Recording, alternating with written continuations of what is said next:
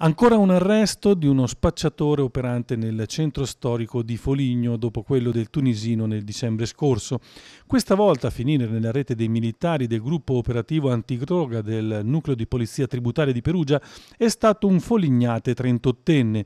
Dopo giorni di osservazione dell'uomo che aveva approntato tutta una serie di cautele per riparare le finestre del proprio appartamento da sguardi indiscreti, i finanzieri lo hanno fermato appena uscito di casa per dirigersi verso i suoi abituali luoghi di spaccio, trovandolo in possesso di un rilevante quantitativo di marijuana, la successiva perquisizione effettuata nel suo appartamento ha consentito di rinvenire circa 30 vasi utilizzati per la piantagione e l'attrezzatura necessaria per la coltura, ossia lampade, fertilizzanti ed un ventilatore per dissipare il forte odore presente nel locale.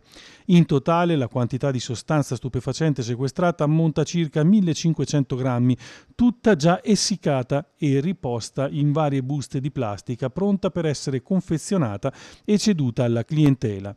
Inoltre, nel corso della perquisizione sono stati rinvenuti anche 1.400 euro in contanti, quale provento delle precedenti attività di spaccio.